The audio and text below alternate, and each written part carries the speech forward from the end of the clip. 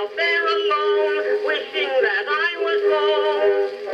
The ship got wrecked with the captain and crew, and there was only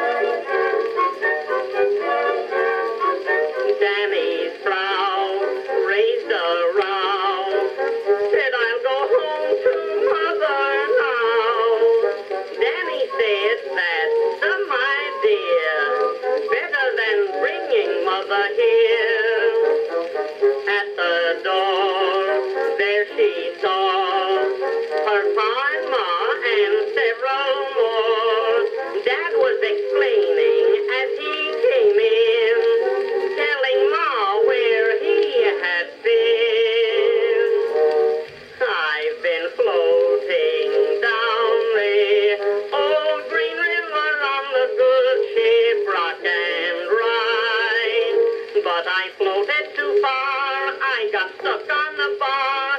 I was tied to the mast while the schooners went past.